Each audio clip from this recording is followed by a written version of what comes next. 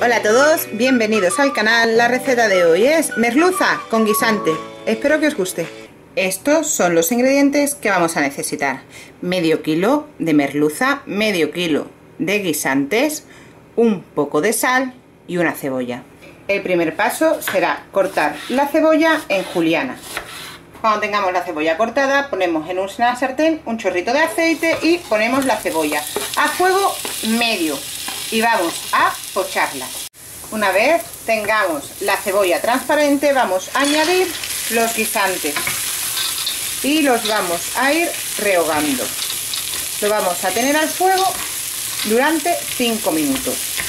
Transcurridos los 5 minutos, cogemos la merluza y la colocamos en la sartén agregamos una pizca de sal y si queréis para darle un poco más de color le podéis añadir un poco de pimentón dulce.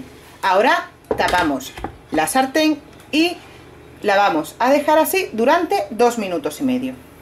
Pasados los dos minutos y medio quitamos la tapa damos la vuelta a la merluza y la volvemos a tapar durante otros 5 minutos. Transcurridos los 5 minutos destapamos apagamos el fuego y ya tenemos nuestra merluza con guisantes terminada. Si os gustó esta receta no olvidéis darle un dedito arriba y suscribiros al canal si aún no lo habéis hecho que por aquí os dejo el botoncito, se me está viendo desde YouTube, como siempre en la cajita de información. Todos los ingredientes que necesitáis para esta receta. Y no olvidéis que tanto los miércoles como los domingos a las 10 de la noche tenemos un vídeo nuevo en el canal.